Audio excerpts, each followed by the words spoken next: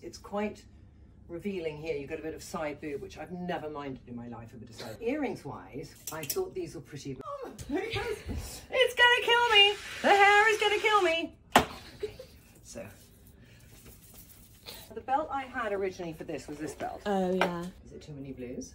Yeah, I think it's It too is. many Okay, blues. let's have a look. Like my neutral for the holiday, I could do a trainer, which is fine. We have such a challenge in getting this dress dressed, then it will not go. I'm gonna now just think in order. So I'm gonna do one lovely night. I've got this, which is a really lovely Peter Pilotto dress. Lengthwise, I probably would actually maybe do those with it too. So that's good. That's two days of evening.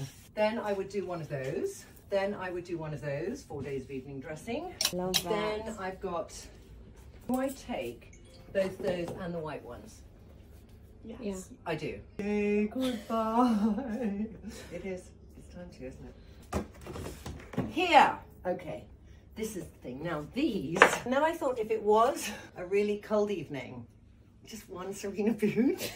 I've got some choices, haven't I?